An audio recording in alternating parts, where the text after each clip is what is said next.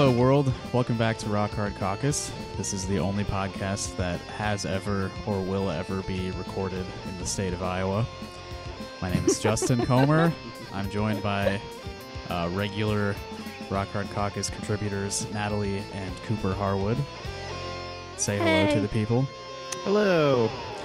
And we're joined by two very special guests today. We've got Chris and Shane from the Eat the Rich podcast. Howdy, folks. How you doing? Thank you guys for joining us. Uh, so, Natalie, I know you have listened to a lot of Eat the Rich. So, do you want to give our listeners just a brief uh, rundown of what they're about?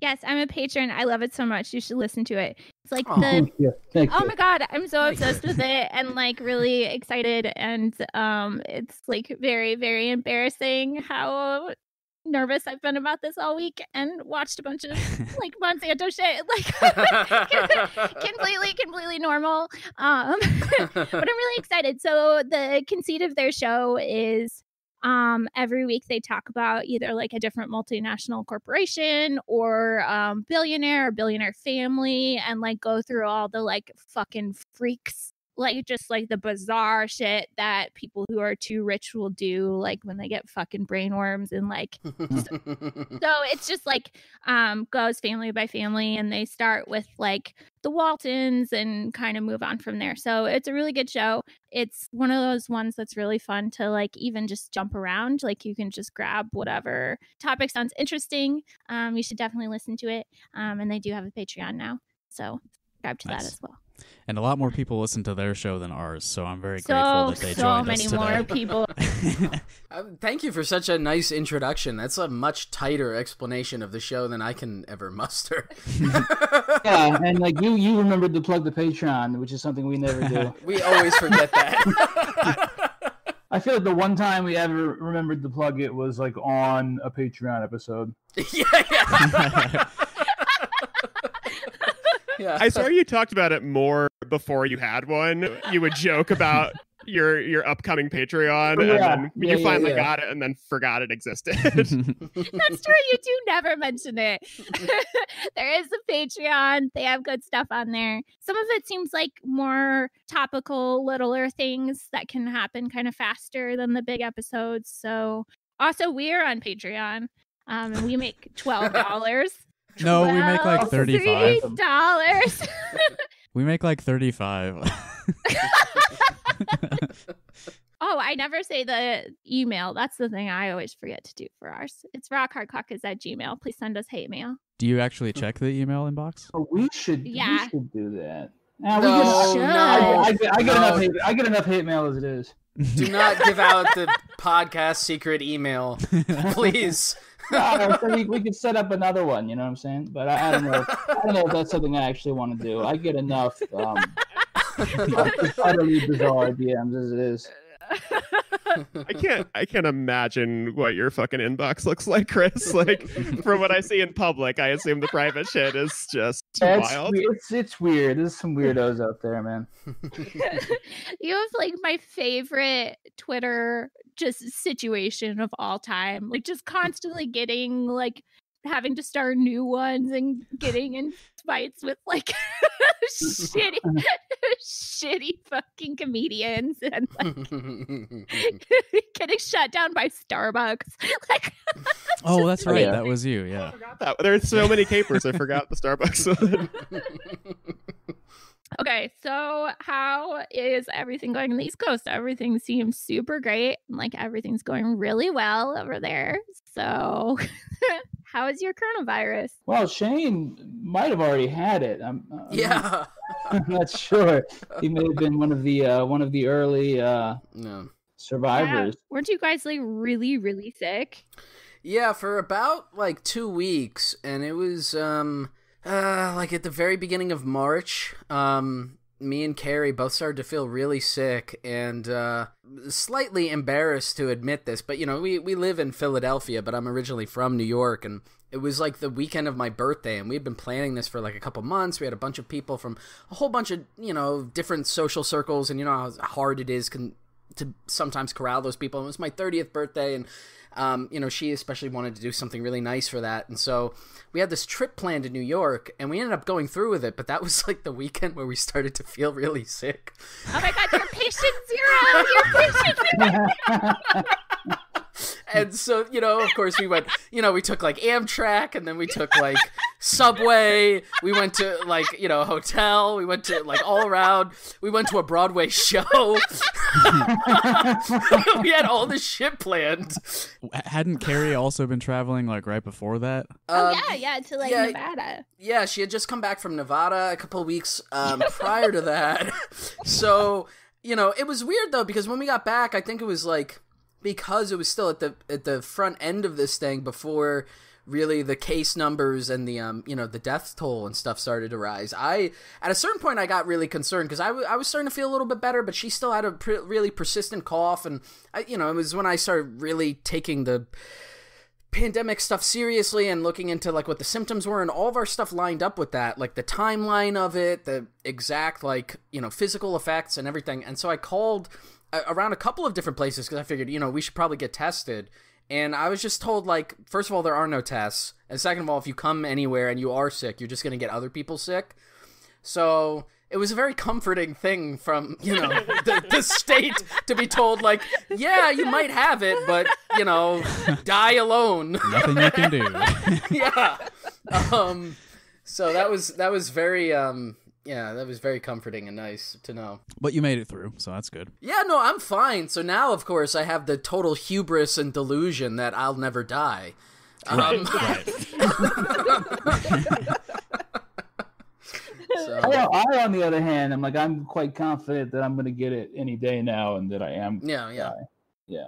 I'm, actually, I'm, I'm sort of surprised. I kind of thought that I would have it by now. You sound disappointed that you don't. oh, it's not. It's not so much that. It's just that, like, you know, I mean, uh, obviously, this is, you know, the, the you know the largest concentration, the largest breakout in the country is in, you know, the New York, the New York City, um, you know, Long Island, you know, the New York metropolitan area, and um, you know, I mean, my living situation is, uh, you know, I, I have several roommates. Um, you know, any any degree of um, sort of real, it's impossible for me to do any sort of like real social distancing. Mhm. And um, yeah, I mean, it's kind of, you know, I mean, it's all over the place up here. It's weird. It's spooky. I mean, I don't know how it is in Iowa. I don't know what part of Iowa you guys are in, but I mean, you know, it's it's, you know, I, I live in uh, Amityville. I live in like a kind of a little town, and uh, like right, we got like a little downtown area. I mean, it's just a ghost town. I mean, everything's closed. You know, there's um, very few cars on the street. You know, you, I walk over to the gas station to, um, you know, pick up Juul pods and snacks and a sandwich and stuff. And you know, everybody, I mean, everybody's wearing masks. It's weird. It's it's it's pretty uh, it, it's pretty spooky. But um, it's scary. I mean, you know, I, I thought I really, you know, I thought I'd have it by now, and um, you know, I'm- and just like I said, like with my living situation, I feel like once one of these guys gets it, which is almost inevitable, we're all just gonna get it at once. Which uh, like I'm not looking forward to that. Um, what that situation is going to look like more than more than anything else, though, I'm concerned about my parents. Yeah. My parents live in Virginia. You know, they live in. Um, you know, I mean, obviously the, the virus is everywhere. Um, you know, they're part of Virginia. I think a little bit less so. Um, they do live in the. You know, they don't live in a rural area, but they, they don't live in a city. You know, they live in kind of. Uh, um, you know, the like the outermost like the very outermost suburbs of Richmond before you get to um, something more rural looking. Um, so, Mhm. you know, I, I have a degree of comfort in that, but um, no, I worry about them. They're, you know, they're quite a bit older, especially my dad. My dad had me very old, um, so he's, you know, very old. same Yeah, yeah, no, exactly. Yeah, I knew that. Yeah, so it's you know it's frightening. You know, and, and they do you know they do a pretty good job of. Um, luckily, unlike some boomers, they they took it seriously from the start, and um, Oh, nice. Yeah. yeah, they, they've done a good job of staying inside. But you know, I mean, you got to go to the grocery store. You know, Mhm. and my you know my dad has um, you know my dad has several um, you know pre-existing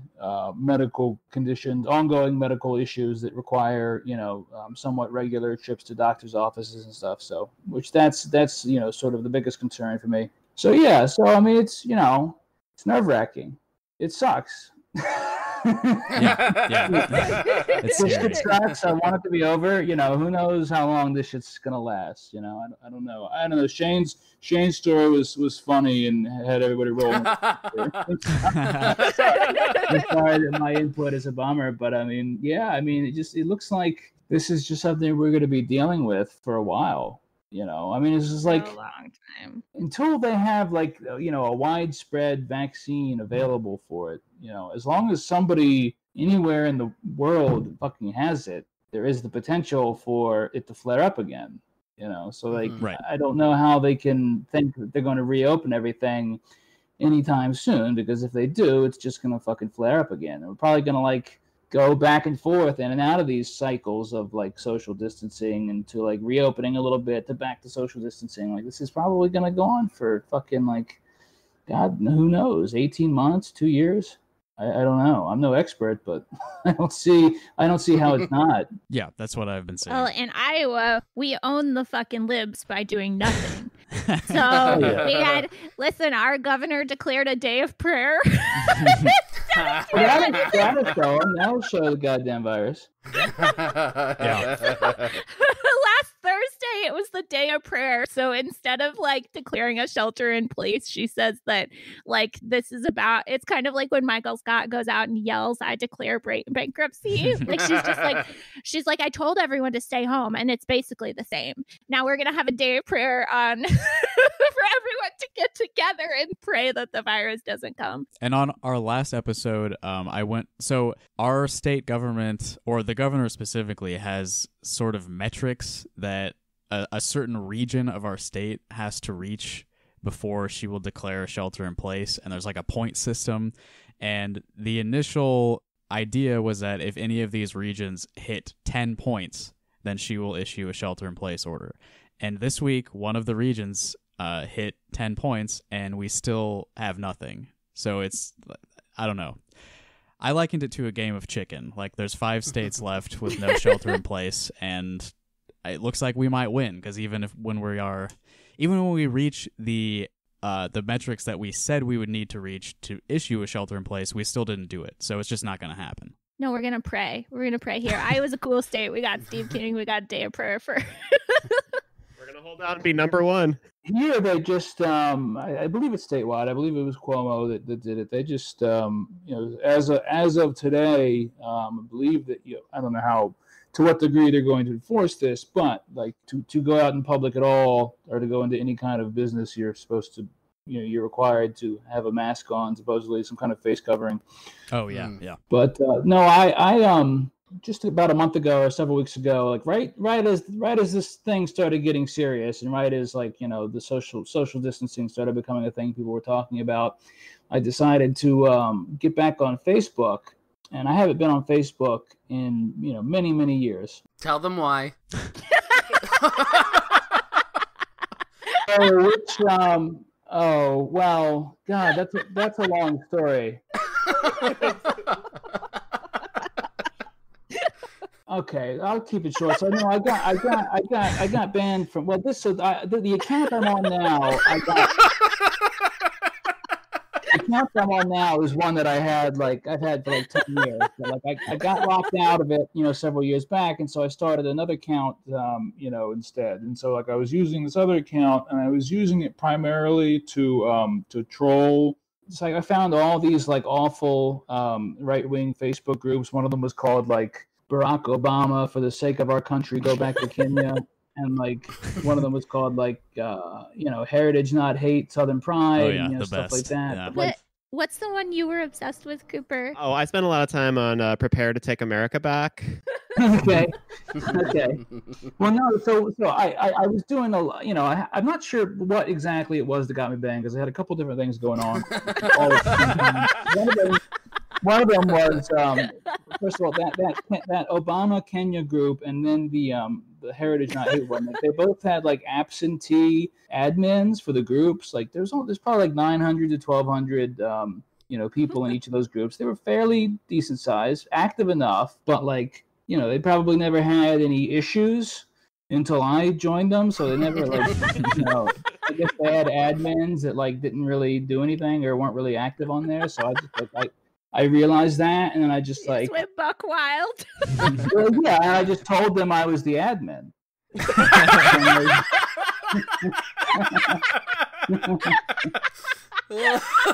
And I was like, no, I'm sorry. This group is now dedicated to, to Hillary Clinton appreciation.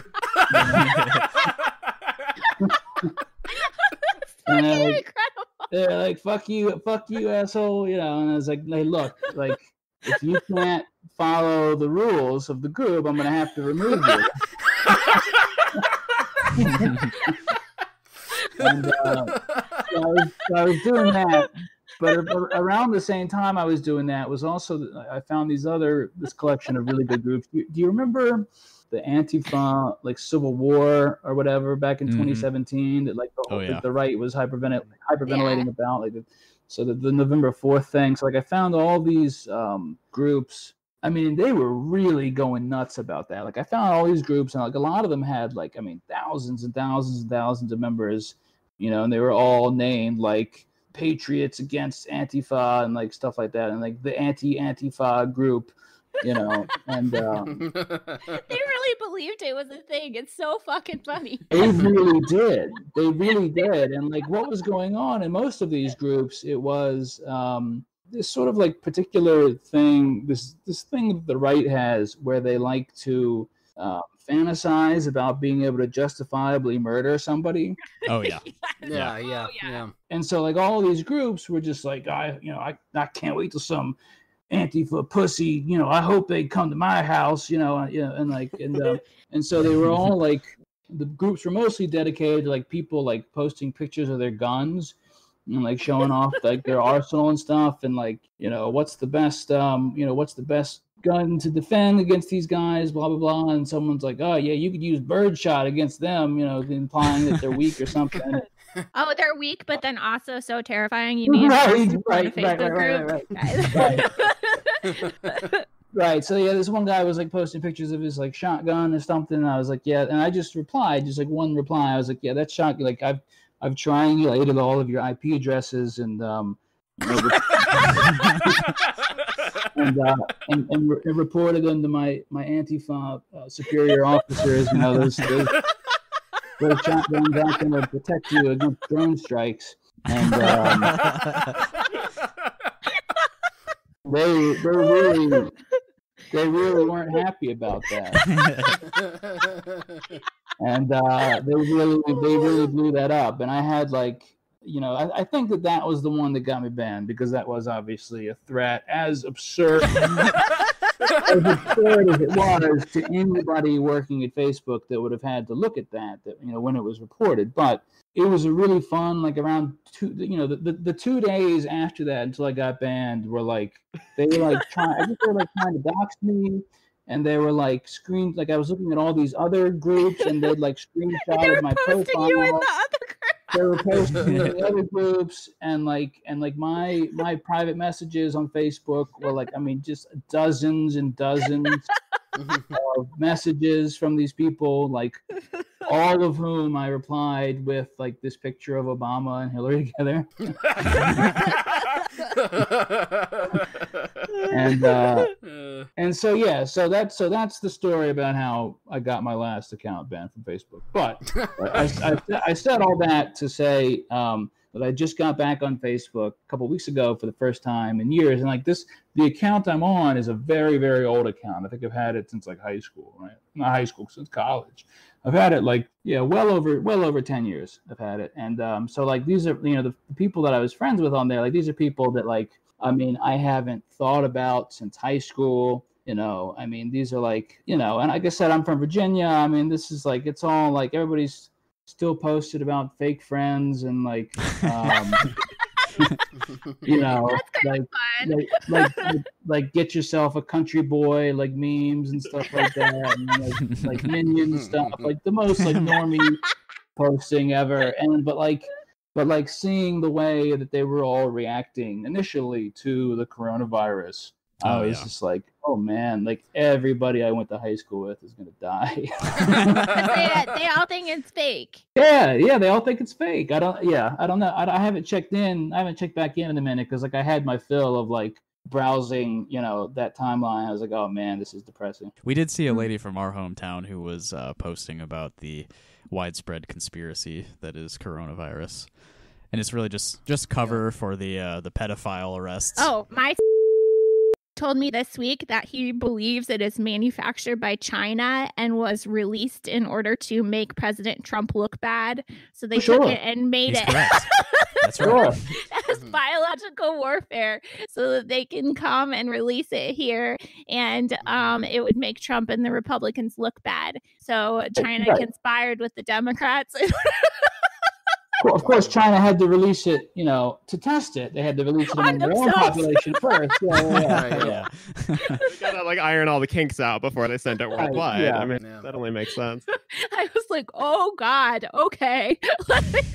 I mean, I'm, I'm not going to pretend that I'm not, uh, you know, that I don't tend to have. Uh, oh, know, we're conspiracy cons- people, conspira- obviously. Conspiratorial, conspiratorial type thinking, but like, yeah, when like when I noticed the, when the first place had spread after China was Iran, I was like, hmm, you know, like I found that a bit. You know, I wasn't totally bought and sold, but I was like, oh, that's weird. Like, well, you know, I'm going to keep my eyes on it. If it goes to Ven- if it goes to Venezuela next, yeah.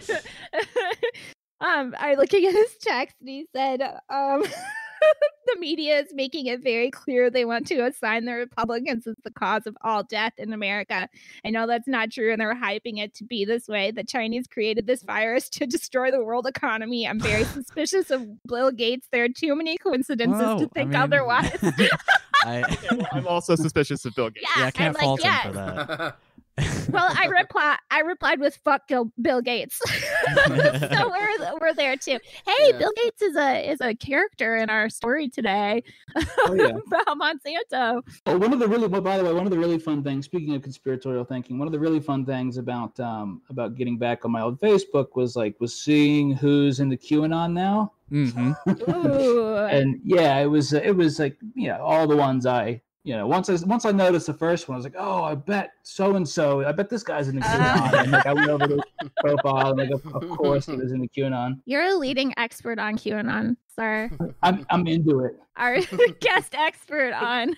Yeah, I'm real into it. Is there like kind of an emergent corona theory in QAnon, or is it just all over the place? Like, I mean, there is like, as far as coronavirus goes, but I mean, everything with QAnon, there is no like singular agreed upon theory. You know, it's like it's all sort of like a hodgepodge, and like everybody, you know, it's like a grab bag. Everybody, you know, who's, who's a believer in QAnon, like, you know, they pick and choose and, and make their own kind of theory out of everything that's available. But yeah, I mean, some of them, um, yeah, like you were saying, many of them believe it's like a, you know, created in a Chinese lab. Many of them think it's a Democrat um, plot. Many of them think that it is to keep people sheltered in place, I guess, so that they can, you know, secretly arrest the deep state sickos Yes. or whatever. Like, Oh, Oh, it's a okay. noble virus then. Okay. yeah, yeah, okay.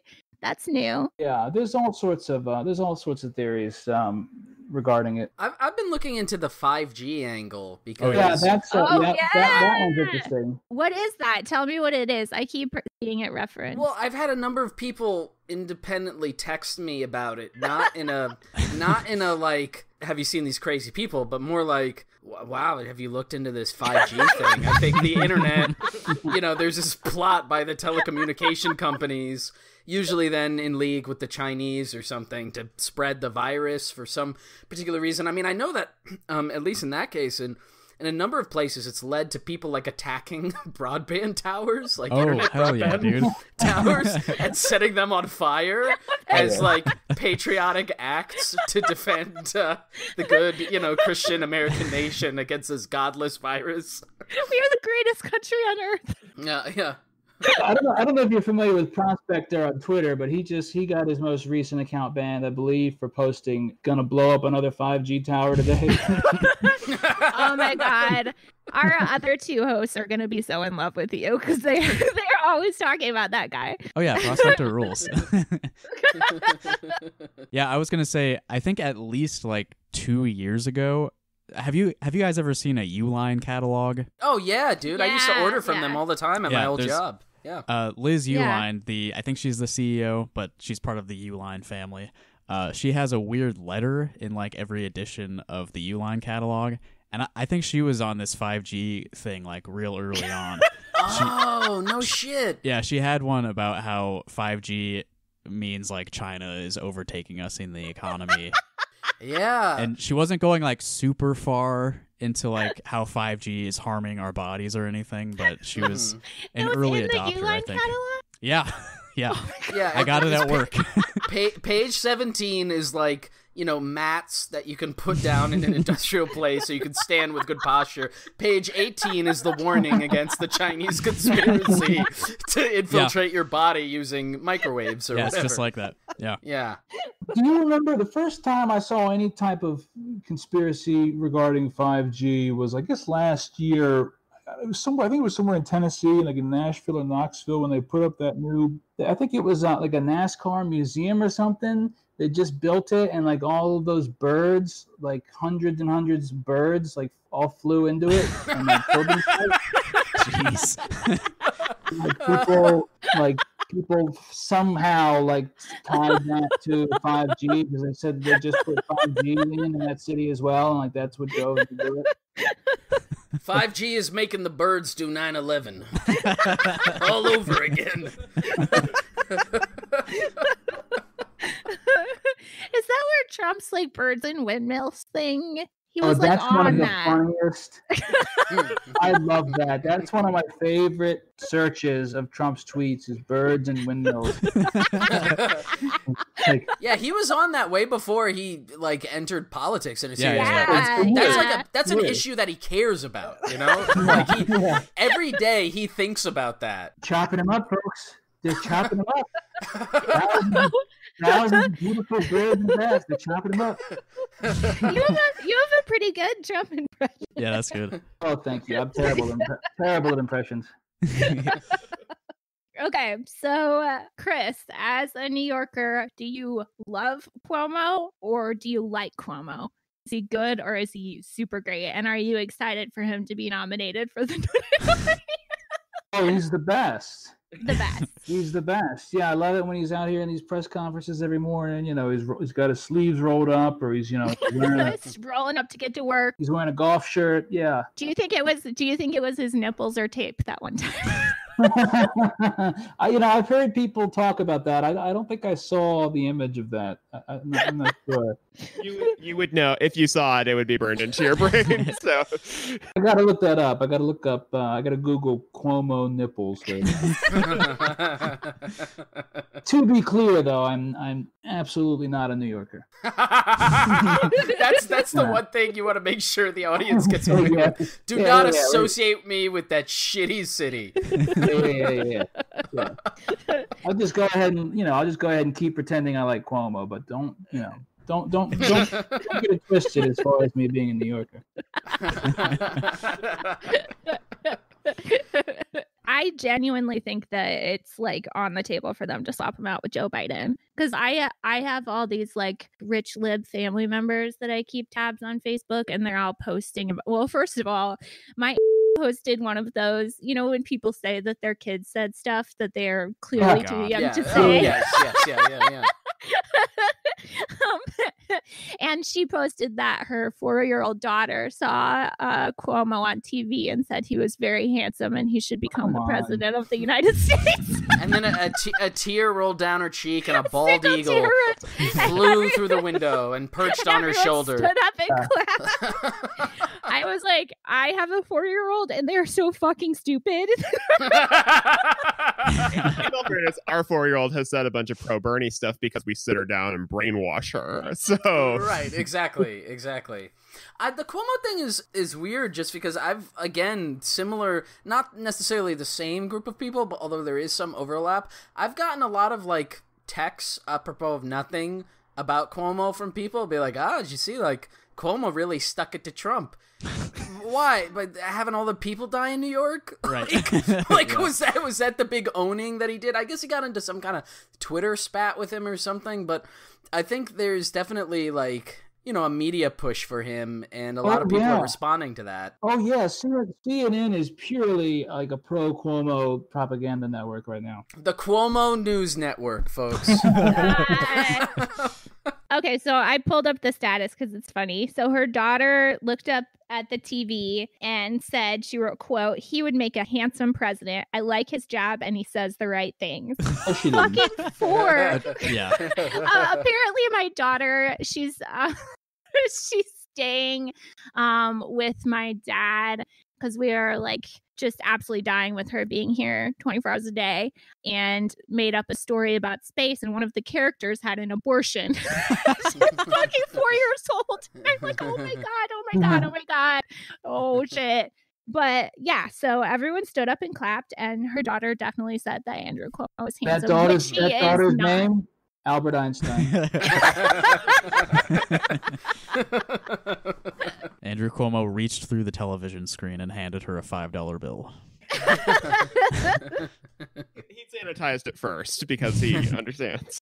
yeah, I mean, I know, I, I, I really wouldn't be surprised if they try to pull some sort of thing where they hand him the nomination. I, I mean, if they want to win, I mean, that might be the only way. That, you know what I'm saying? Like, I, I, I, I I think that they have to know. They have to know that Biden can't win. Mhm. I don't think they care. That's a whole other question. But uh, yeah, he doesn't fucking. They don't fucking care. But like, Well, I mean, they're hiding him. They know that every day you see Joe Biden, Yeah. people like Joe Biden less. So, like, if they threw Andrew Cuomo in on Halloween or whatever, it would probably be better just because he's somebody else. Maybe that's the conspiracy theory. Maybe we cracked it. Maybe the Democrats really did create coronavirus, but it's so they can hide Joe Biden from the public. and the idea was they would make Cuomo a hero. He's not Yeah. doing it, and they're telling us that he is anyway. yeah, they're just saying it. Don't they have like the m- most cases of any other, like even every other country in the Yes. world? Yeah. Like, un- yes, in Yeah. New York, yeah.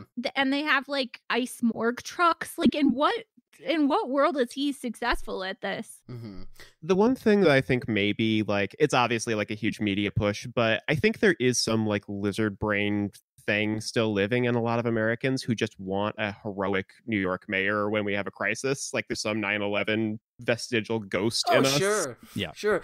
I mean, that's the weird thing with like Giuliani because he, you know, he got he got launched into the national spotlight for it, and the you know the one way you could look at it is like, wow, he was the leader on 9/11. The other way you could look at it is like 9/11 happened on his watch. Mm-hmm. like, Yeah. isn't that the much more apparent thing? Like, he, it's America's like mayor, baby. he in, in, after after the the 93 bombing um the the attempted destruction of the World Trade Center with like the uh you know the van uh bomb in the in the basement. Mhm. he you know as a result created this new department. I forget the name of it but like a citywide department to deal with emergencies as you know in case something like that happened again. And of course as a PR coup he put it in the fucking twin towers so on 9/11 it was totally out of it got blown up it was totally out of commission and useless Jesus. Yeah. but you know hey Attacked before. So yeah exactly well you know the idea is like you can't you can't try to attack the twin towers and then you know they did So Giuliani got did 9/11. Next point. I'm not I, I I didn't say that but i did uh, speculate that i want to Yeah, make that yeah. clear i did you know that's up to the listeners to decide It's up whether to or the not listeners. giuliani did 9-11 Yeah, I'm a soft 9/11 truther, so I will listen Mm-hmm. to whatever your 9/11 related conspiracy. Speaking of 9/11, though, I really do think that um, I, I mean this this coronavirus thing is going to be Trump's 9/11. Like as much as they want to make it his Katrina, Mhm. the media. Oh, you know yeah. what I'm saying? As I, I much agree. Yeah. As, as much as they want to stick this on him and like try to criticize No, yeah. handling of it, and of course there's plenty to criticize. Like, you know, these gave everybody 1,200 bucks. Yep. You know what I'm saying? Everyone loves a st- everyone loves a strong man in this. Everyone loves the 1,200 bucks. You know, I- I, I, I really, I think that honestly, this is only going to help him. Yep. Yeah. oh god i just had a horrible thought and it's definitely gonna happen somewhere Okay. so, some some of his loyalists, right, who like will clearly not need the twelve hundred dollars, will pool collectively all of their twelve hundred dollars together to build a fucking statue of him somewhere. Thank you, Mr. Trump. yeah, and they'll go. They'll wake up every day. You know how they had like the kids going out like in suburbs, like w- saluting the flag or whatever in the morning, even though they're not in Oh school. God! There'll be a there'll be a Trump on every cul-de-sac, and every morning you'll wake up and say, "Thank you, good sir, Mr. Trump, sir. Thank you so much. I'm gonna go back into the bunker now." I mean, I, for you know, me personally, I mean, I, I just turned around and donated the entire twelve hundred to his reelection campaign Yeah, makes as a, as a way of saying thank you. Oh yeah, of course. Okay, so I assume that we are seeing a man show reboot soon with the Eat the Rich boys because you've been having an exchange, Chris, on Twitter with Adam Carolla. So wondering how good he's doing and how you're best friends. Um, I mean, he's not doing as well as uh, as Jimmy Kimmel is. Um, What was the impetus of that? no, honestly, I'm gonna show my ass a little bit here as like someone who like honestly like doesn't even half the time do the cursory glance to figure out why I'm supposed to be dunking on somebody before I dunk on them. I'm not really sure. I, I think he, what was it? He was you know, he was replying to Vic Berger. Vic Right, Berger right, like yeah. did a post about him. I guess he had some stupid comment about coronavirus. I'm not even sure. I'm not even sure. I'm not even sure what it was. But I saw Vic Berger, you know, shitting on him, and I saw him replying to Vic Berger. So, you know, I just went for it. The, the funny thing is, though, and I think I mentioned this on our show yesterday, like that's really because like this works with James Woods every single time. Like I've done this to James Woods pretty much every time I get banned and every time I create a new account, the very first thing I do is go and get blocked by James Woods again because it's so easy. All you, you know, all you have to do, like for him, I pretty much reply the same thing every time. Like, "LOL." Remember when you used to be in movies? And, uh, That's enough. Oh yeah. Oh yeah. That really gets that really gets under the skin. But yeah, like you know, I basically did the same thing with Adam Carolla, where it's just like uh, I was like, Hey Adam, you know, you know, longtime fan, you know, I was really I, I really liked you know, the man show twenty years ago. You know, I haven't haven't much of you since then. Have you been getting any work? And um, you know, out of like the four hundred or like three hundred and seventy people who replied to that post of his, like mine was the one that like you know, that was like tailor made. funny how that always seems to happen. Yeah, that was that was tailor made to get under his skin, and um, that was the one he um, that was the one he quote tweeted, and um, I, was very very delighted to to, to um, very delighted by the fact that um, after he did that, like I changed my display name, you know, as one does to uh, to Adam Carolla diaper, so that when you look at his so that when you look at his account, you know, you see that right there on the quote tweet. But like after he replied to me, like he, like I think he looked like he walked away from Twitter. He didn't come back to it for like 13 hours. So it was just like right there, at top of his page, like all, all day, which was uh that was pretty that was pretty satisfying. Very satisfying. I need to go. I'm gonna go get banned by James Woods now. Oh yeah, did you get like the very public? Did I know he does a lot of like you're blocked now, and also Insta block. Insta block. Oh, there we go. Yes. and then something about fucking your mom. Usually, I feel like there's a lot of fucking Yeah. jokes from him. Yeah, he did. Um, what was it? Um, he's I've I've got the Insta block thing twice. Ah, He I don't remember what the last. Well, the last one was something about yeah, fucking your mom. Like, that's what he always goes for. But like the the one um the, like a, a year or two ago, when I did it a time before, like I, I I said, you know, my reply was like, remember when you used to be in movies? And he was like, what did he say? He's like, remember when you used to be. Remember when you used to be on your knees under the highway overpass or something? like hashtag Insta block. nice. Good, real good.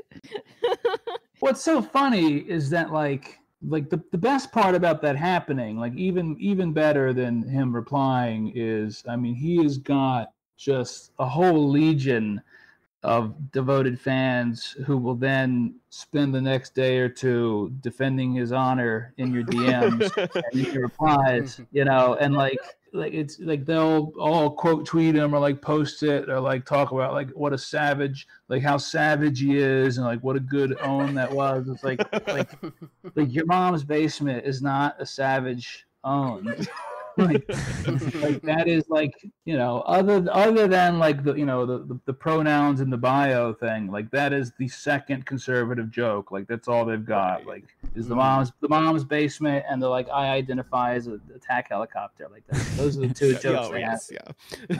Oh, his bio says if you get your knickers in a twist, I couldn't care less. Certainly seems like he does because he's real mad at you. He does. I'm putting LOL. Remember when you used to be in movies? yeah, yeah, yeah. No, I encourage everybody to do that. Yeah. There's another, there's another really funny um, right wing actor that that uh, a couple of us have gotten into before. His name is Nick Searcy, and he's the guy from Justified, the television show. Okay, and yeah. um, he's a big MAGA guy on Twitter. But I believe if you look at his profile, if you look at his bio, he's his bio says um, the ambitioner of liberals.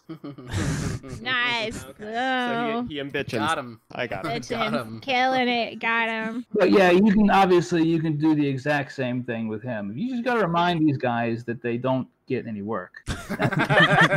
Did he even used to be in movies? Or Yeah, yeah, that's that's how you get them. That's how you get them. That's how you hit them where it hurts. My primary goal in life has been to get blocked by all the liberal feminists that I used to love 15 years ago who have now turned into fucking frightening psychopaths. Like I got the Amanda Marcotte block.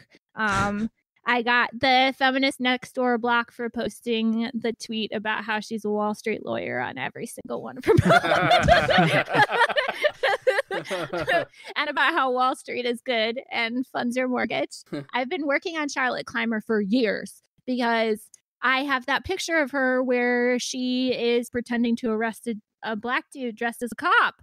And I put it on seen that, everything. yeah. Yeah, and she fucking won't block me, and it's very, very. she knows that you want it, and she's not going to give it to you. She's Yep. holding Yeah. that sweet block. I think she might have me blocked, and I don't think I've ever even interacted with her. Oh man, I'm feeling like a real sad small person. I can't even get her to. I like to imagine that the, the Chris's Avi, which is the fucking monkey from Jumanji, is like mm-hmm. hanging up in a bunch of rooms and different offices and things. They're like, you block on sight. If, if you see this monkey come at you, especially if he's smoking a cigarette, you gotta block him. It's like a Polaroid behind the, the cash register. like, do not serve this man. got a got a big yarn string that goes yeah, across yeah. Connects oh, Yeah, hell yeah. the deep state. to a 5G tower. Like, thumbtack. Okay, so my next question is what is your Eat the Rich origin origin story and how do you choose topics? Because sometimes it's current events and sometimes it isn't. Sometimes it's just like classic Look at the, look at this fucking freak. because I feel like who is the Africa guy that like cannibalized? Oh, General Butt Naked. Yeah. Oh, Butt Naked rules. Yeah. we did- we did mention him briefly. Um. Okay. So how do you choose the topic and how did the show start? Um, I mean, the show started. I mean, we all were in a, a couple of different like group chat things, and we'd been chatting for um, uh, you know, a couple months, and and you know, the three of us and a couple of other people, we'd gotten kind of close, and w- just so how did they get rejected and cut? I don't think I don't think it was you know it wasn't like we made some selective decision in that thing. I think it was just happenstance that um, the three of us happened to be relatively geographically close, so we met up one night for to do something entirely else, and you know we we met up and there was some chemistry and we were talking and. And I, I'd had this idea for a long time, you know, to do a kind of research based comedy politics show about, you know, sort of interrogating and looking at the specific histories of these people because you know the ruling class is a structural concept but it's also a phrase that gets thrown around on the left a lot. And sometimes even you know when i'm using those phrases I'm, I, I try to think like what do i really mean by this? Like who am i talking about and sometimes when it's left as a nebulous phrase like that it can feel something that's totally out of touch and like oh that's something you can't really challenge. There's something immutable about it. You can't affect it. But then you realize like no these people have like names and addresses um and you know like terrible histories. And the reason why they're in power they have a lot of money or whatever you know these are all contingent things that don't have to be that way and and in particular for a lot of the people who who have that money you know they've deliberately obfuscated what their personal histories are, what the real story is of like big corporations that are around today. Yeah, and how many people they've killed with their cars. right, exactly. I mean, that's the weird thing. I mean, I I didn't even intend it to be like super focused on you know th- their personal morality or whatever but it's just like every single one of them you peel a, one layer away and it's just like oh my god this person is an awful piece of shit um, I, I I did. That's what I'm into. that's the, that's the stuff I'm into. I'm into the real like sickos and freaks. And the real most dangerous J game types. But yeah so then we just we kind of came together and of course like after after we started putting some ideas together and we put together like a big list of like here are all the people we might want to talk about you know the first kind of ones that would come off the top of your head. We put together this whole list and we haven't even gone through all of those people because other things keep popping up um and then and then you know as we were deciding okay maybe we should try out doing a show of this we found there there are a couple of shows that do similar things and a few more have, have arisen while we've been doing ours over the past year or so. And we talked with some of those people and there was sort of this common agreement that like eh, there's plenty of awful people to go around you know? Like, and there's plenty of space to talk about this. So that was kind of our our origin i think. I'm, I'm trying to I'm trying to do the PG version of the origin, you know. we have excellent bleeping and cutting staff here. Okay, yeah. And and Justin, he has got me saying some very very heinous things. yeah, criminal things even. I have talked about crimes I've done. I've called it. Yeah, very bad. Well, Very bad. Thank you. I have some cuts I want you to make already, Justin. the real the real story then in that case, if if you know, just between us, the real story is I the second I laid my eyes on Chris and Dwight, and here you can just cut in that sound effect of like a wooga, you know, like eyes popping out of the skull. I was like, these are the boys. Before we move on too far, I do I do want to say, um, did you guys ever see General Butt Naked's personal Facebook profile? yeah, when we talked about him on the show, like it wasn't any anything prepared. It was just like a side note. That I believe that that's what Dwight was saying was that he had um yeah found him on Facebook or something, and that he actually like at one point um spoke to him on the phone. I believe. Jesus, oh, why did I not remember? it's so scary. Like he's killed like a bunch of children, and he's just Mhm. like walking around now. Mhm, Mhm. Just mhm. among us. Man, they're they're all running together. Because I think I'm thinking of someone else. There's so many. They're so terrible. Oh, there, yeah, no, there, for sure. I mean, there's, it's literally endless, and I think that was part of the idea of, you know, when we started the show, worrying about like, oh, are we gonna have like content to put out every week? And it's just, it's, like I said, we have this list of people that you know we want to talk about and topics and different companies and things, and and like you said, you know, sometimes just stuff comes up in the news, and it's like, all right, well, let's talk about this then, because it's so prevalent, you know, and I think Yeah. in part the motivation behind it is as as leftists but also just as people you know you grow up and you live in a social reality where all of this is just taken for granted and you know these these people exist in these positions of incredible wealth and authority uh, many of which who are involved in making your life shittier Yeah. like not not in an abstract way like No, yeah. specifically like you specifically and and depending on where you are geographically there is some rich asshole who has made your life worse Yeah. and and so in a certain way it's kind of a response to that and that's where then some of the kind of more um you know topical shows and and topics that we touch on come from. It's just like honestly sometimes we're just kind of talking to each other and it's just like oh my god i saw this and it pissed me off so much. I'm so angry about it. And so it's kind of a collective expression of uh, of rage i guess in that sense. Yeah, like you know, the culture is such if we don't carve out these kind of leftist media spaces. I mean, every single person knows all the normie people in their life telling you about how great Bill Gates is for funding all this anti-coronavirus Musk. stuff. Like, Mhm. oh, he started out at a loss. He started these 12 companies to like yeah, and I I mean, uh, so many things come back to what a fucking frothy psychopath he is. Um Mhm. including some of the stuff I have for today, but it's just like they have so like American culture and American media have so thoroughly ingrained this like billionaire worship into us Mhm. um, to the point that like they've made minions online who will yell at you if you say that billionaires are bad. Mhm. Or like if you talk about Bill Gates, they'll be like, you know, it isn't really fair that he has so much money, but he's one of the good ones. So should we really like just like, Right, oh my God. right, right. After you notice after you sign the giving pledge, you get richer every year. Like Yeah. You know Oh, you're yeah. on you're on firm moral ground anytime the phrase "one of the good ones" comes out, though. So moving on for what I uh, I'm trying to decide whether to start with Cargill or Mons- Monsanto. Cargill is started in Iowa. There's less to say about it just because it's it's a company that is still private. It's the largest private company in the world. We'll we'll do a little bit on that. So this is this is super quick on Cargill um, because it's really really hard to find any information. But I feel like I have some pretty incredible quotes from a couple of the ex- executives to round this out. So um, Cooper looked into some of the stuff about Cargill. Um, I don't know. Do you do you two kind of know anything at all about corporate agriculture? Do you know about like GMOs and what's happened with them and stuff? I, I know with um certainly with Monsanto they do that thing where they like they patent um Yeah, yeah, yeah, agricultural yeah. products Yep. and then they Yep. make it so they have these like weird frankenseed things that so Yep, that you, yep. if you buy the seeds you can't like the, the plants won't produce their own seeds that Mhm. keeps you in this Yep. perpetual loop where you're indebted to the company and you have to rely on them right Yep, yep. And they have like literal seed armies that go out and stalk farmers to make sure that they are um, not sharing them with anyone else. And you'll get sued if your seeds blow into the nearby farm. yeah I've, Even I've by heard of that accident. it's so fucked up Yep. I know. So there's some good stories about people being stalked by Monsanto.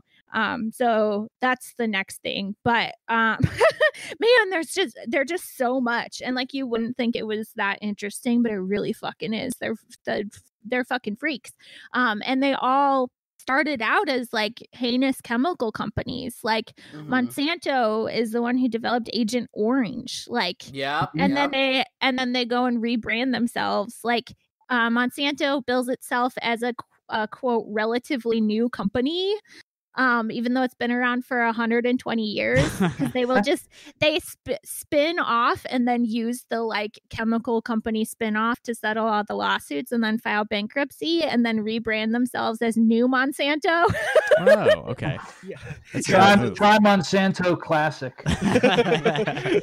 yeah the big the big move so in, in 97 they spun all of their chemical products to a new company called solutia um so that they could be nothing but agriculture. And so all of the lawsuits went along with solutia and it Okay. went bankrupt within six years. So yeah monsanto.com calls itself a relatively new company. A new company on the agriculture scene. And it actually says not the old monsanto on the website. Just- Way. okay okay we're gonna start with cargill though hey, Natalie. there's less to say about that what Um, quick request. Can you say the word orange again? no agent orange okay, I I don't know. The first time, no, you. It sounded funny, is all. I just wanted to hear the way you say the word orange.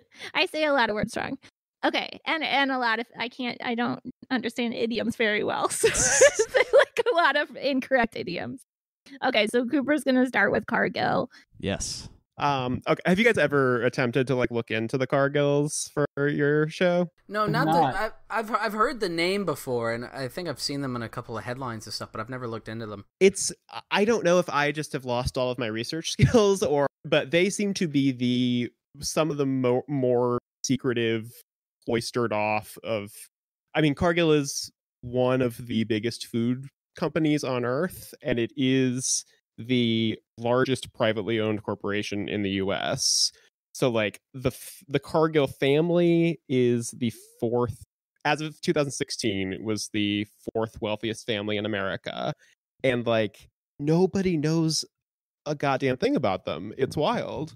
So I had a quote of um at 50 billion in animal sa- annual sales, also animal sales, interesting. But yeah, Cargill is twice the size of its biggest rival. It's bigger than Procter and Gamble, AOL, Time Warner, or Merrill Lynch. It's the 19th largest company in America. Wow. They operate out of 59 countries, and you don't even know the name of how like you, when you look up their family tree, you it'll just be like information unknown, information unknown. Yeah, so the uh, there appear uh, Forbes appears to have kind of this weird like hate boner for them. I think precisely because they cannot figure them out. So they, I'm looking at like a family tree chart right now that is that Forbes did that uh like lists the different members, different generations, and their respective shares of the company. And then there is a generation where they just have names, dates of birth, and then a big black circle that says children unknown.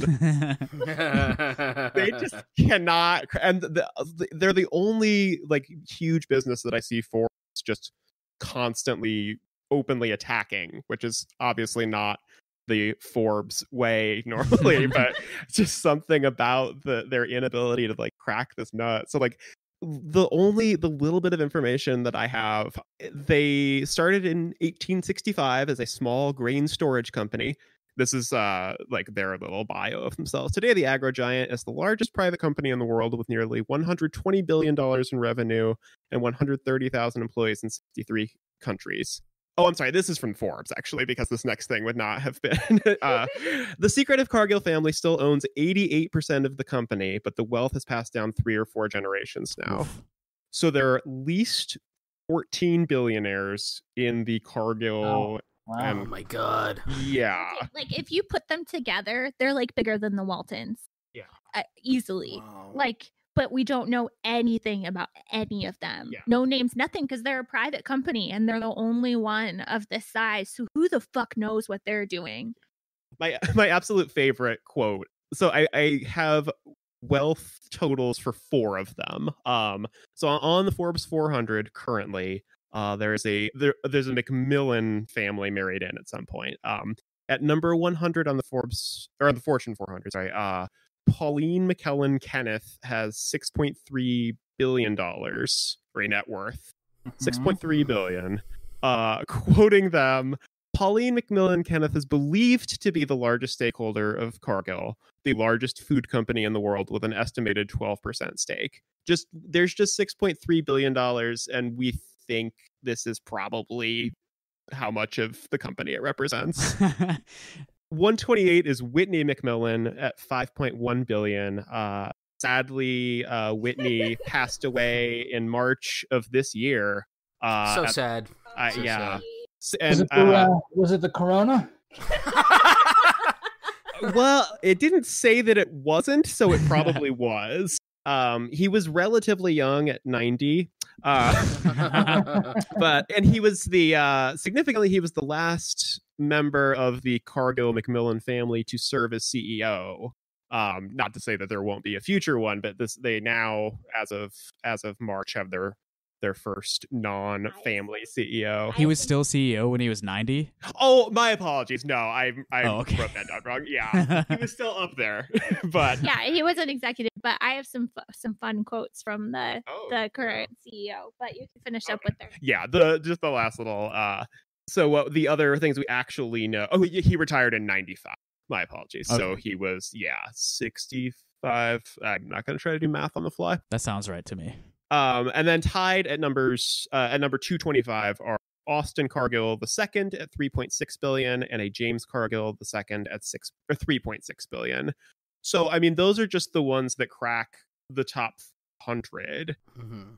And again we kind of know names and faces and what they say publicly and there just mm-hmm. seems to be nothing else out there it's it's the antithesis of this idea of kind of putting a face on what the ruling class is they have managed to scrub their faces from the world it's it's just kind of Which is smart in, I from mean, their yeah. position. Yeah. Yeah, absolutely. It's just like it's wild, and we like consider ourselves to be kind of good at digging, but like can't find anything. And it's just even like because if you're a private company, you have to give nothing. So Yeah. these people are the richest people on the planet, but we don't hear about them the same way we hear about like Bezos or whatever. Yeah. So we we can't them.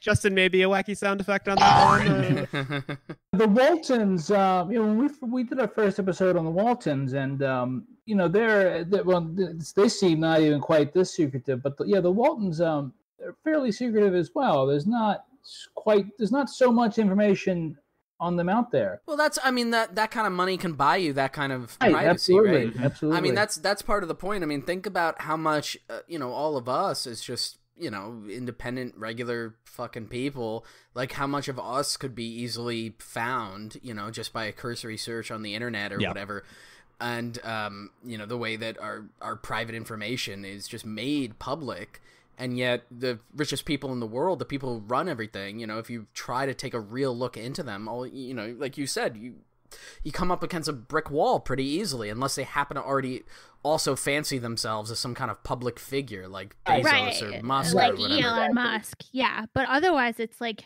it's it's creepy to try to look up these people because it'll just be like person unknown just like total like just total blackness. And like um so I had some like other wild statistics um apparently they control a quarter of Russia's national bond market which is fucking wild I'm sure there's nothing uh nothing suspicious Nothing going on there. there. a quarter of our beef, a quarter of our grain, a fifth of our turkeys, like, and we just know absolutely nothing about them. But I got so our new CEO, the first one outside the family, is named Mhm. Staley. He's been the CEO since 99. He wants to sh- reshape Cargill into a more sensible giant with a sharper focus on his origins. And new cooperation, the quote he gave is, quote, to grow our opportunities. This is in the fucking, this was in a Forbes article. He said this shit out loud to a reporter on the record, just so we're aware. just want to be clear. Um, to grow our opportunities, we have to shrink our sandbox. That means telling our businesses, we won't starve you, but we may shoot you. oh my god His name is Staley, like Lane Staley. I don't I don't know what his first name is because I have they didn't give his first name. no, it did, but I I took a screenshot. Oh, okay. Yeah. And then I thought this was fun, um, which is kind of which is an Iowa thing. I live in Des Moines, so that's what made me think of this. But oh, Warren Staley, American investor. Mm, yeah. Okay, so here is the other interesting quote from one of the articles that I just thought was fucking funny. Talking, so the whole thing is about the future of Cargill. So that's what this interview is. So he, not starving, but shooting some of his off spin businesses. But um, so Anderson Eric Erickson and Dairy in Des Moines, Iowa. Um, now makes a new soy yogurt from a soy protein isolate that Cargill touts for its blandness and manufactures in a factory in Ohio that opens last French Meadow, a Minnesota bakery, uses Cargill soy flour to bake breads for men and breads What? for women. what his and her breads What does that mean? so the his bread has a sterol content that's touted as a natural way to prevent heart disease. And for women, they put in plant hormones that limit the effects of menopause. Damn. There was a, uh, it reminded me. There's this diner I went to, like in my area, and it's got like they got like one breakfast. It's called like the Hungry Man, and it's like three eggs, bacon, sausage, potatoes, ham. It's like a bunch of different types of meats. You know what I'm saying? And then like, and then it's like twelve dollars, right? And then for like for the same price for like twelve dollars, it's the Hungry Woman, but it's like it's just like a it's just like a plate a, a, a plate of fruit. Oh you oh you want a healthier choice? Try our woman meal. guys, guys, is it gay to eat fruit? It's the same price too, which is so funny. That's great. I imagine like a, f- a father and son going into the diner and the father ordering the hungry man meal and and the son sort of sheepishly trying to order like the hungry woman meal and the father like no get him two hungry mans he's got to learn the way of the world like Bobby from King of the Hill. yeah, it's Bobby Hill. I was gonna say that. but Bobby can eat. He wouldn't order fruit, so it doesn't quite work. He likes meats, but If if they haven't branded the bread for men as the man bun, then I'm gonna be very upset with this company. Ah, there it that's is. good. Thank you, folks. Thank you. oh man what about what, what's that what's that fucking coffee company you like chris it's like oh, Black Black Rifle? Rifle. yeah, Yeah. yeah, they Yeah. should do that, but with bread. Like, you know, fucking M16 croissants. Fucking. Have you ever seen uh, Have you ever seen Dave's Killer Bread, which is actually really good? Um, you ever seen No, that? what Like is the- that? Their, their branding is like, like the, the packaging. It's like some guy with like a beard and a ponytail, and he's like playing an electric guitar. And it's called Dave's Killer Bread. Man bread right there, but it's good. It's good as hell. It's good as hell. It's really- Masculine bread is not a phrase I thought I'd be walking away from this with, but I, I that, that is now firmly in my mind. Do you remember? This is going way off on a tangent, but do you remember? And this is like the kind of thing that I don't even think could exist even now. But like three years ago, there was that branding. There was those commercials for that like Dr Pepper with like ten calories or something in it, and it was like the, the whole branding was like it's it's the Dr Pepper for men. What? I do Yeah. not. No know it's like, way. just- like it's not a diet soda because like we know diet sodas are for women, but if you want something that's only got ten calories and full flavor, like Oh, so it had to have some calories. Right, exactly. And I, li- I, li- I, I, I believe that literally, like the tagline in the ad was, "It's not for women."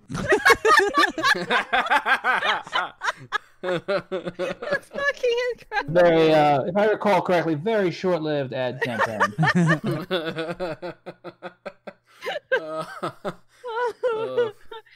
There's a really funny men's makeup company that I just whoa oh what's it oh my god what oh war paint so Oh, should oh, I've seen that. I've seen yeah, that. that, yeah, because yeah, the yeah. ad is the commercial is fucking incredible you gotta look it up you like you know that makeup is not gen- like you just buy makeup this is like a, a another big tangent. I'm sorry to get off track here, but just on this conversation, you guys know the the mascot Spuds MacKenzie, Oh yeah. Mhm. the Sure. dog, About right? Futurama? No, no, no. That they they did like a riff on it, but there was a there was an actual I'm thinking of Yeah, uh, Slurms. yeah. Slurms MacKenzie. oh that Slurms MacKenzie. on Yeah, yeah. I always just think of the original Party Worm. That was based on something. Yeah, Yeah, yeah. that was based on um in like the 80s there was this this whole push in I think it was Budweiser, Bud Light maybe. Yeah. Yeah, I think it was and Bud. and so Spuds MacKenzie was like uh they got like a dog to be like the mascot and they shot all these commercials and they and they all had these like catchy songs and the idea was like the dog would be like you know dog would have like sunglasses and be hanging out on the beach and there'd be all these like hot babes like around the dog and they'd be like oh my god who's that and be like that's Spuds MacKenzie the original oh party animal Oh my god! I just looked it up. Oh my fucking god! so these commercials were a big hit, right? They were they were come up by some like fucking twenty year old cokehead, like you know, son of somebody else who worked at the marketing firm or whatever, and was like, "We're gonna have a cool party dog," and so they shot all these commercials, and it was a big campaign. I mean, they had T-shirts, you know, they had hats, they had like fucking lamps you could buy that were in the shape of the dog, and then it came out that the dog in the commercial that they used was a female dog. and so like and so the commercials were obviously aimed at like a you know a ma- male audience 18 to 25 or whatever and so when that happened there was this like huge backlash against again and so people like all these dudes were like i'm not gonna party with a girl dog. And they were like burning their fucking spuds mckenzie's like t-shirts and lamps and records and shit being like i can't believe i was betrayed by a girl dog. That's fucking incredible.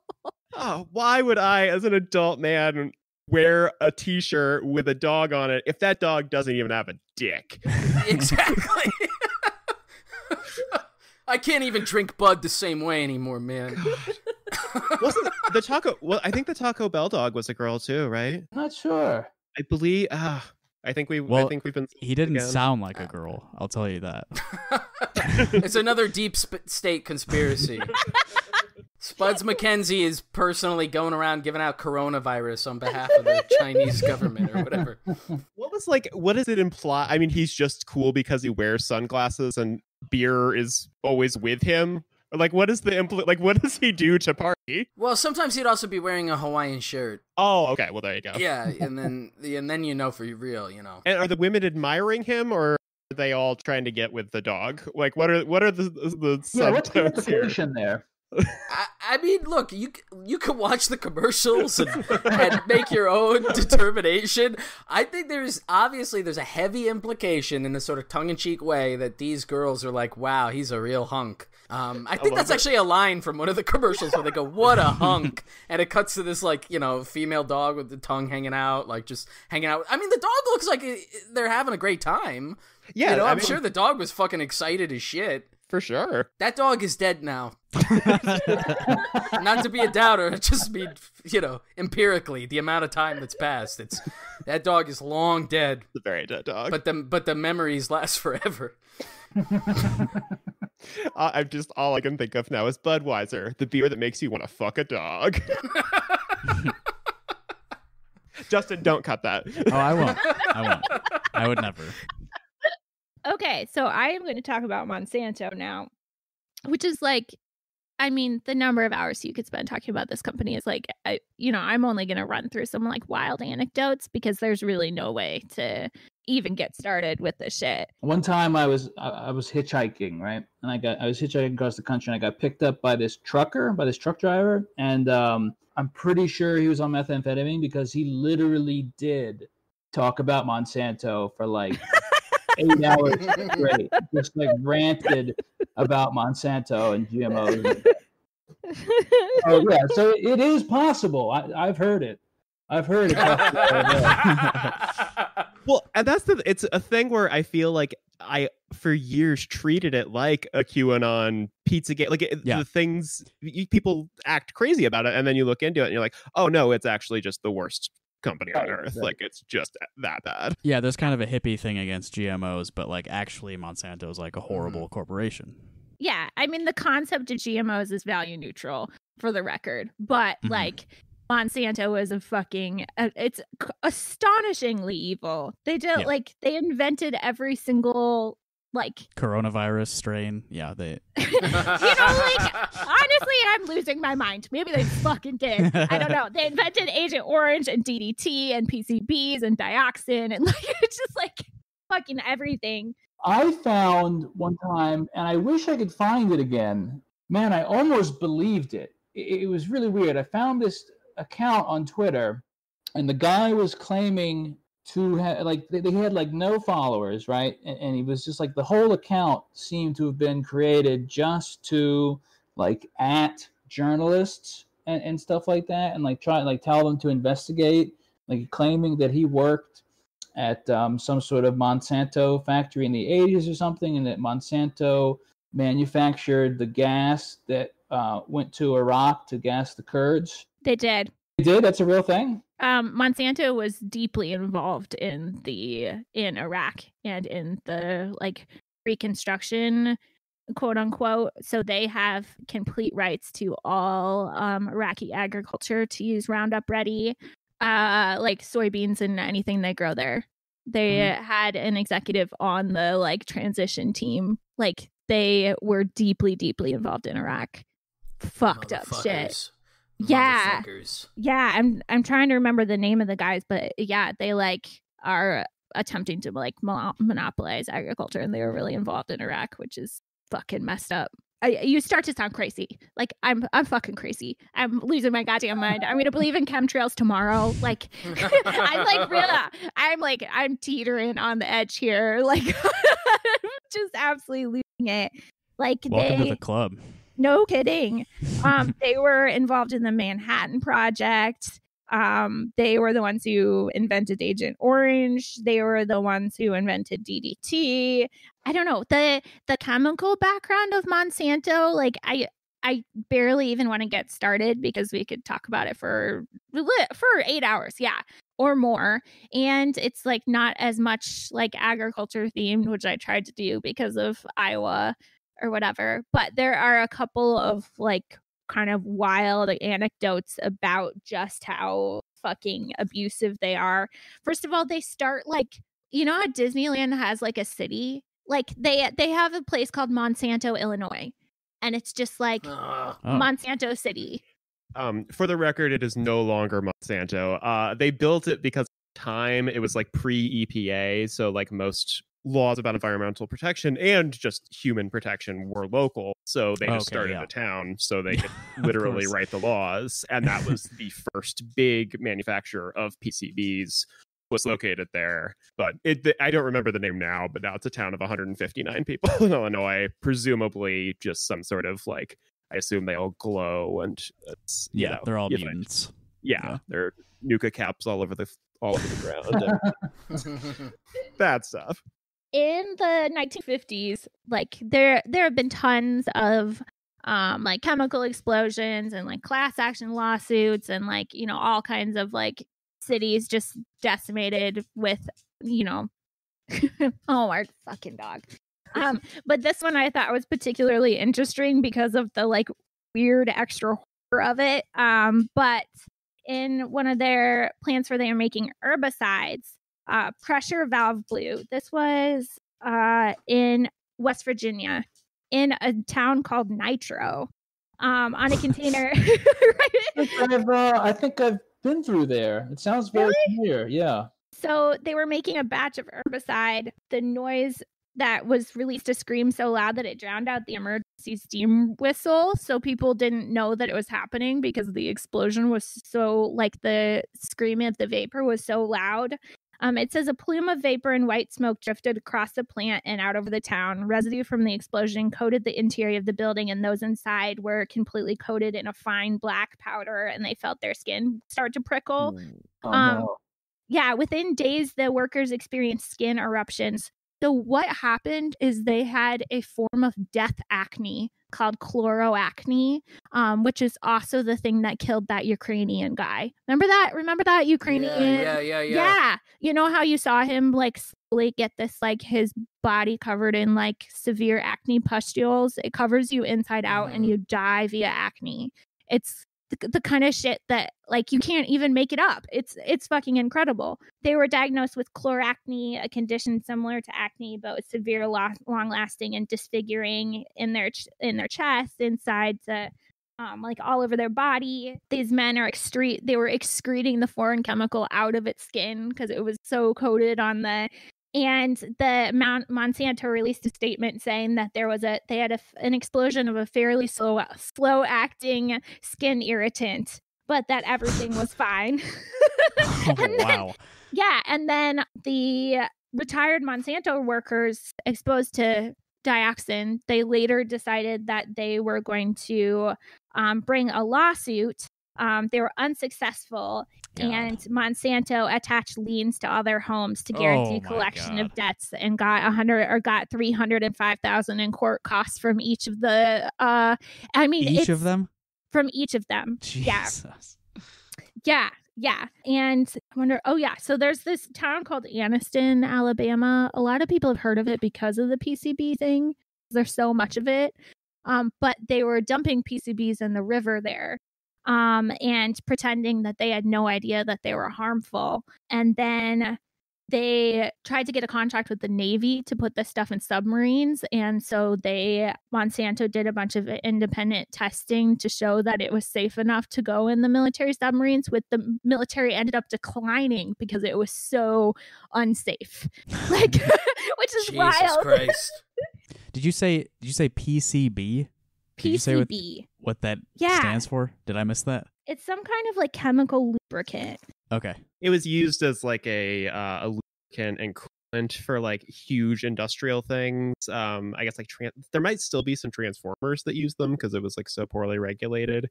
Hmm. But yeah, it's just the- it, it's a short, some sort of very fancy science word like yeah, poly polycarbon. polychlorinated biphenyl looks like. sounds right. Yeah, yeah, it's nasty. It has like it's it can't be like it's indestructible by like fire or it's like sunlight is the only thing that can cause it to start to break down. Like it all sounds vampiric. Vampiric. Like a vampire. yeah, Uh, yeah. I mean, if it was like the, with the Nitro story, I was thinking the whole time, it's like if that was a Batman comic, it would be too fucking far fetched. But right, a screaming death, Death cloud. by acne. that causes, Yeah, that's yeah, that's that's the origin story of like Two Face or something. yeah, Yeah. yeah. So, like when they were conducting studies to give to the Navy, um, one of the biologists said, later at the Washington Post that he they had been dumping it in the streams near this um, city and he put fish into the streams and then tested them to see like how toxic it was and Mhm. all 25 fish lost equilibrium turned on their side in 10 seconds and were all dead in three and a half minutes oh my god. and this is the water that the whole town is and Yeah. this plant decided to start donating a bunch of the soil from the lawns in the like plant area so everyone's lawn is poisoned to this day which is like Naturally, naturally. it's just it's just so sickening and we've talked about this i believe on more than one episode we've talked about like we did a, a- a series of episodes about like coal barons and um Mhm. yeah yeah it's yeah just time and time again that you know the people of west virginia who are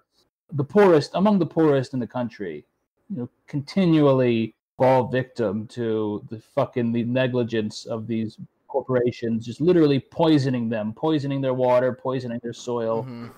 Forever. I mean, at least on any kind of human time scale, right? Yeah. I, I mean, certainly for the rest for the rest of your life, probably your your children's lives, probably their children, anybody who stays in the area for the next hundred years. I mean, it's tantamount to just fucking turning these areas into like. You know, um, America is littered with mini Chernobyls like this. yes Mm, you know Yeah. just just these small pockets of areas sometimes um you know almost you know huge municipalities or you know medium-sized cities that are just permanently fucked up for at least the next 100 to 200 years because of uh chemical companies and stuff dumping this kind of shit. It's it's obscene. And nothing. And they they the the kinds of attorneys they have like they people never get a fucking dime. I started to dive into the seed stuff which is their their major grift now. Mhm. and like the the way they come after farmers is just they go full fire like they are known for just going crazy on like the smallest people Mhm. Like it's it's impossible to ever get any damages from any of them Well, part of the strategy, if I'm if I'm correct, at least I know what Monsanto is, right? Like the strategy there of suing the farmers, like in the case you brought up earlier, of you know whatever the seeds from one farm blowing onto another, and then Monsanto could show up and say, "Hey, you have our, our seeds." Um, it, it's not just to in, you know protect their intellectual property, and I'm saying that with a giant you know, uh, finger Right. quotes as big as I can. But it's also in part to drive them deliberately out of business or make them beholden to Monsanto, right? It's a monopoly tactic. yeah, yeah, yeah. yes they do it specifically to like the troublemakers Right, yeah, people who refuse to uh, engage with them or want to be independent farmers or whatever, like the country was originally founded on, and certainly in like the Midwest and shit.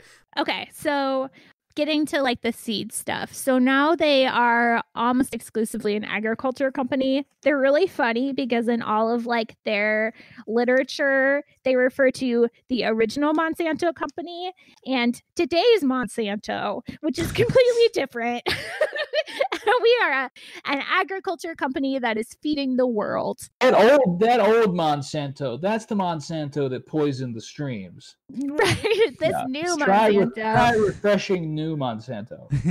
there's no there's no continuity between that old Monsanto and the current Monsanto. Like we have nothing to do with those guys. Like it's just a coincidence. What is the seed thing that you guys were just talking about? Explain that to me. I'm, not- I'm Okay. not, I'm not familiar with that. Okay, so what they have done is they engineered seeds that are resistant to Roundup. So their entire business model now is Roundup ready seeds. So they developed Roundup, which is obviously a pesticide, which side note, um I remember my dad grabbing like gallons of gallons of it and just drenching our yard in Roundup and like it stank and it like burned our Mhm. faces and like Right. like it just like Not really intended for residences, I don't Right. so the whole thing is that they make Roundup, which is like this heavy herbicide, and then they make Roundup resistant seeds. So um, you sell the seeds and you can plant them very, very close together because you don't have to get at the weeds in between because you just drench the whole thing. So basically, once you have started using these seeds, you cannot go back. So they they plant these Roundup resistant seeds. They uh, um it like jacks up your crop yields, you know, whatever. Now you can coat them in this pesticide and it won't kill your ac- or damage your actual product, but it, it will kill all the weeds. So, you know, whatever. Great. They feel that this is a great invention. I mean, in all fairness, it's one of the more brilliantly evil schemes I've ever heard. In terms of, I mean, it, it it's incredible, and I mean, farmers quote unquote chose it because it's extremely effective. But Yeah. once you're in, you cannot get out. Oh, So farming in the past, which for for like the record of the scale of this in Iowa, 80% of the crops are grown as Roundup ready seeds or Roundup Iowa, eighty resistant. percent. 80%. Wow. Yeah, I mean just it's everyone because you just can't compete with people who are able to plant everything that close together. Yeah, higher yields. Yeah. Yeah, that you can like double, triple your yields if Yeah, you yeah. can plant them together because you don't have to get to the weeds because they used to have to be planted farther apart. Um, so the whole strategy was to get people completely dependent on them and then just start fucking them. So unlike the past when you would be able to recollect your seeds and then seed next year with the same ones, um, you have to rebuy every single seed again next year and you have to throw away all the old ones. So it's like super unsustainable and it means you have to continue to buy with them every single year. Um, and the thing that they do is they are like fucking seed stalkers. Like I I mean I have a, a thing and it's a little bit long, but it's worth it um, from an investigative reporter who said as interviews and reams of court documents reveal Monsanto relies on a shadowy army of private investigators and agents in the American heartland to strike fear into farm countries. They fan out into fields and farm towns where they secretly videotape and photograph farmers, store owners, and co ops. They infiltrate community meetings and gather information from informants about farming activities. Farmers say that Monsanto agents will prevent, pretend to be surveyors. Um, they confront farmers on their land and try to pressure them into signing papers giving Monsanto access to their private records. The farmers call them the seed police, seed Gestapo, and seed mafia to describe their tactics. Um, and when they asked Monsanto about the pra- these practices, the quote the guy got was quote Monsanto spends more than two million a day to research, identify, test, and develop, bring to the market innovative new seeds and technologies to benefit farmers. One tool in protecting this investment is patenting our discoveries, and if necessary, legally defending those patents against those who might choose to infringe upon them. So they don't even deny that they're doing this stalking and shit. I, I'm sorry. I'm sorry. Are they are they secretly planting these seeds on farmers' property or something? Uh, Yeah. So the thing is, is you're not allowed to reuse seeds. So they're Uh, checking to be, be see that you're doing new ones every year.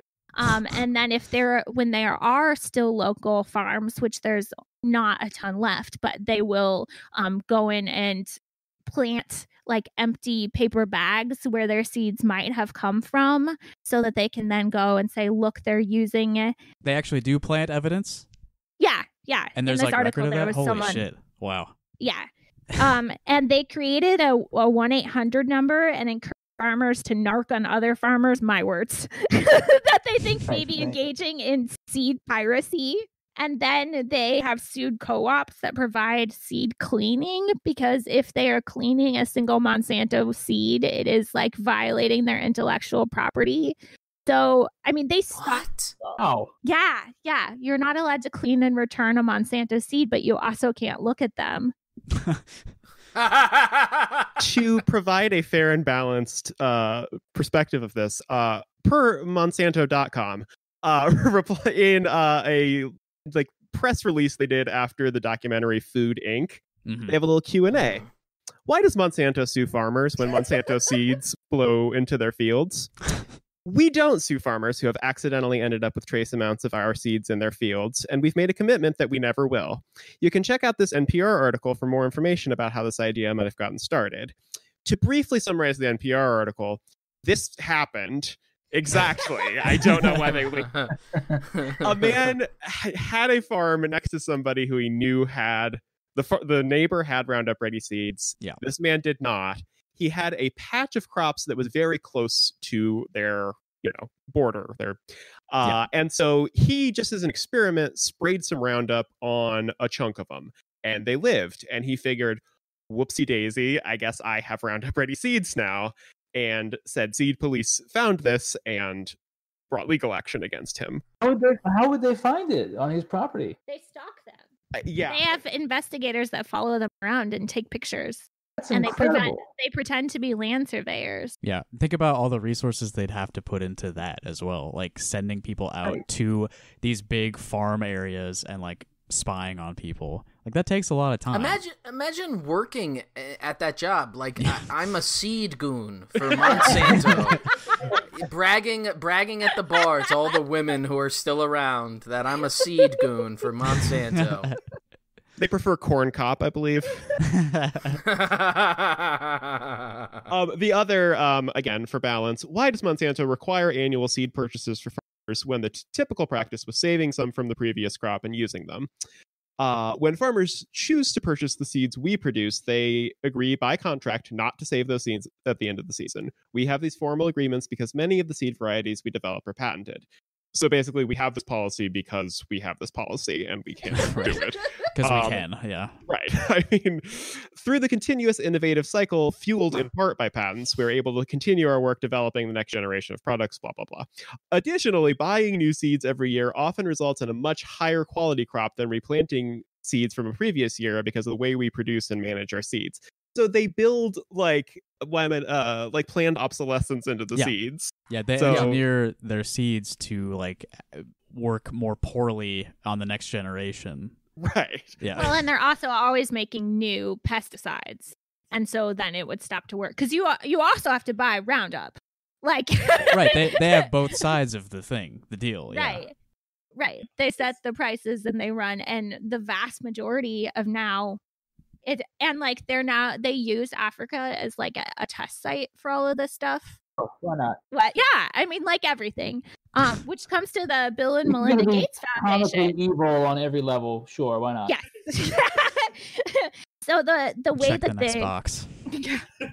the way that they test this stuff is they basically pretend that they're using GMOs to bring to Africa. So the reason they you do Africa is one because no one will give a fuck, and two because all this stuff is illegal in Asia and Europe. but not in the US. Right. Um, but they will like test these in Africa and you know get people dependent on them there too. The thing that's really bad about it is like you know Bill Gates pet project is like that he's going to help alleviate hunger in Africa or whatever by developing these like high nutrient seeds. But what they just found out happened in the most recent like report from the Gates Foundation is that he bought a fuckload of stock in Monsanto and then used the foundation to fund going ah. into so he bought 500,000 shares in Monsanto and then announced that the Bill and Melinda Gates Foundation was going to fund poverty relieving measures in uh, Africa by testing out all these new seeds that would help provide more nutrient dense foods for the people of Africa. And so it was all nonprofit. They got to do all of this tax free. ah, great. just like unfucking believable. The other like so this is just a, a tiny turn, but the like it was just so wild to me that like so the other thing they do are is bovine growth hormone. So like where you Mhm. inject the cows with the stuff to make them produce much more milk. Oh, me and Chris are very familiar. Yeah. I don't know what that means, but it made me I'm not laugh. sure what that, I'm not sure what that means either. oh, you know, you know. I what like it it. means.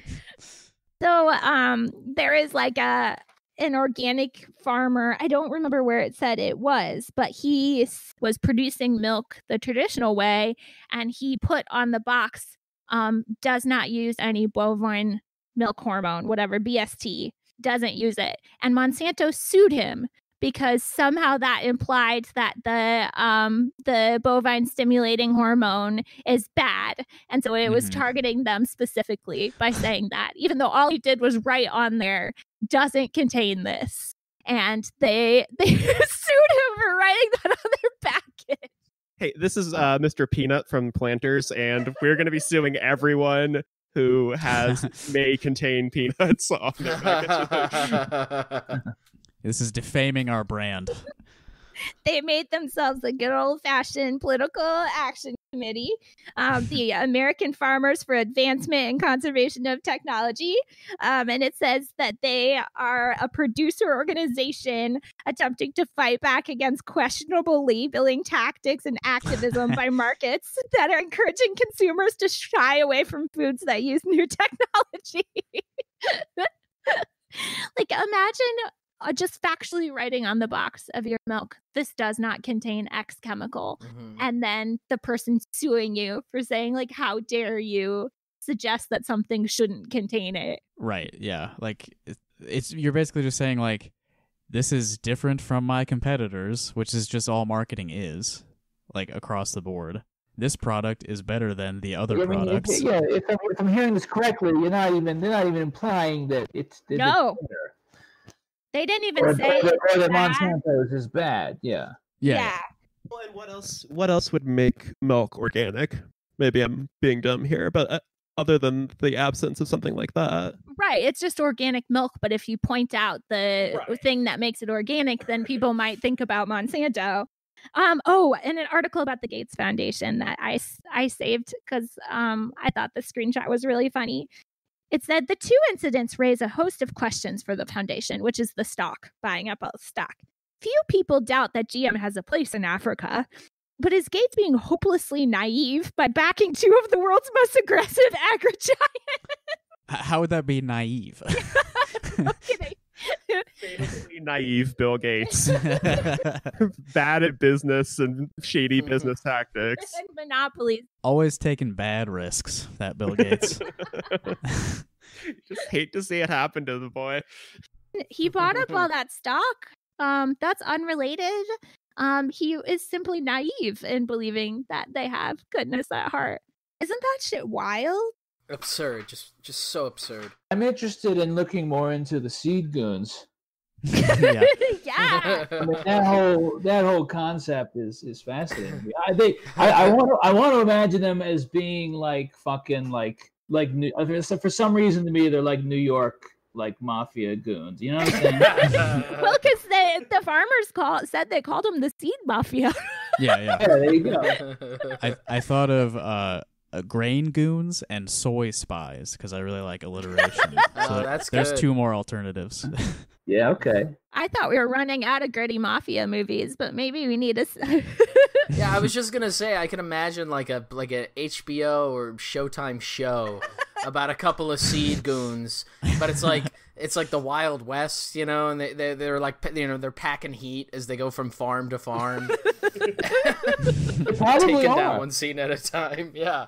Yeah, I'm sure they're probably armed. literally Yeah, are. yeah. There's a rookie upstart who's a little too, too hot tempered and he blows the head off a scarecrow. And there's like a there's an old wizened seed goon who's got like a craggy face, played by Tommy Lee Jones or something. There it something. There it is. I, I was thinking maybe Josh Brolin, but no, I think you got it. Yeah, yeah. No, you gotta save Josh. Josh Brolin. You gotta save for um uh Monthanos. Huh? Uh, see, he they make each one of the seeds. There's a soul seed, there's a power Yeah. seed, there's a reality seed, and when he puts them all in the seed gauntlet, he snaps his fingers, and boom, baby, you got breakfast. I appreciate you doubling down on that and turning it into gold. so yeah, just to I mean, not to sound uh, or bring flashbacks of your uh, your hitchhiking trip here, but while I was trying to look up, No, it was it was a wonderful time. I wanna I wanna return to what was he saying about Monsanto? Oh God, I don't remember. I mean, you know, it, it's it, eventually I tuned it out. yeah. You know, about like the GMO. You know, he talked a lot about the GMO. This was uh, I, I- how long have they been doing the seed thing? Because this was um, this would have been five or six years ago now. I know that I was hearing about Monsanto as kind of a boogeyman in like the late 2000s, at least like Yeah, yeah. 12, 13 The, the years seed, ago. the, the seed thing, they've definitely been on for at least like twenty years. Yeah. Oh, I see. I see. Okay. Yeah. You know how like Pizzagate was right, but they just had the details wrong. That's what I'm imagining. Yeah, Q- Q- QAnon is all real. It's like, well, but it was an island called Little St. James. But you're you're on the right path, Pizzagate people. That's how I'm imagining this meth trucker being like. Yeah, no, I think he was right about a lot of stuff. Um, yeah, he wasn't. I mean, he was. he, was a little, he was a little nutty, but he wasn't like a full-on uh, conspiracy theory. No, he was into like he was going on and on and on about GMOs, and he was like he was. This is kind of funny. He was a vegan. He was like really and like it's funny. He was like really obsessed with his health, but he was like obviously, you know, like up for six days on meth. yeah. Yeah, At, at the at the end of the trip, when you got out, there was a huge crowd of people, and they all applauded at the end of his thing. that meth driver's name was Albert Einstein. It was uh, it was Carl actually. yeah, well. Carl Well- Sagan. Carl, Carl, if you're listening, uh, please, please come on both of our respective shows. um, just this is just a, a thing that I needed to share. Um, I was trying to find anything about Cargill, um, and the I went to Internet Archive just to see if there were books or documents or anything, and just looking up Cargill got me into the found nothing about cargo, but found Jodie Foster observations, flat Earth electromagnet, uh, Scientology, Satanism, and then just yeah. this huge of tags of Lucifer's Lodge, Russian mind control, silent weapons for quiet wars, Iron Mountain, unauthorized Bush, Kabbalah, Nikola, Nikola Tesla, Gordon Brown, Tony Blair, CIA, just on and on. Uh, Kabbalah spelled a different way. Aleister Crowley spelled three different ways because nobody can spell Aleister Crowley. Just MK Ultra, MK Naomi. Huh. That one I don't know. all, all of that sounds ex- ex- extremely my shit. it's Well, all just- connected. internetarchive.org type in cargill and you are down the rabbit hole my friend Related subjects. If you want to hear about Jodie Foster conspiracy theories, I look think- I up think Cargill. I didn't want to open it because I think it's literally the well, it's the manifesto. I think from uh, what's his face, from the Reagan guy. um, Hinckley. yeah. John Hinckley Jr. Hinckley. Yeah. Yeah, yeah, yeah, yeah, yeah. But try guy to find stuff on the job. Cargill. Apparently, the guy who couldn't finish the job. Oh my god! Give him, give him another shot. Give him another shot. Well, they did release him like a, a year or two ago. He's still alive. He's still alive. Yeah, He's yeah. Out of prison. Yeah. Pretty sure. he's he's got another one in him. He's got another one in him. Yeah. You put it, he tried to get out, and they pulled him. we'll pull him right back. he's he's a seed goon now, working working the hard beat in Iowa. He's got to take, take him to the shooting range a little bit. Let him, you know, work on his grouping. if Jodie Foster I assume she's like a resistance type figure. I mean, if she really cared about this country, she could make one phone call That's so true. in a movie, not in real life. In a, in a parody. Yeah. okay, that exhausts my. you had a lot of a lot of knowledge to lay on us. It's just fucking crazy to me. It's like every time you pull a string on literally any industry. Like I taught sex ed, and if you pull a string on the sex ed curriculum industry, it brings you to the DeVos family. Like, mm-hmm. how is Oh this? Like, how is this fucking? If you unravel any part of American media and elites and whatever, it always brings you. Which I mean is the premise of your show. I don't have to tell you that. Yeah. Yeah, it's a foundation of evil everywhere. I, is that the show? Are we? I was just saying, foundation of evil everywhere feels like a very good. Yeah, foundation Yeah. evil everywhere. Yeah, so I, I think that's uh, the show for for this time. Uh, thank you to Chris and Shane for joining us for this uh, deep dive on big agriculture. Thanks so much for having us. It was it was a real blast. It was a lot of fun. Yeah, I had a good time, guys. I appreciate it. Yeah, I'd be happy so to uh, I'm so happy to talk to you guys again anytime. Uh, listeners, check out Eat the Rich podcast.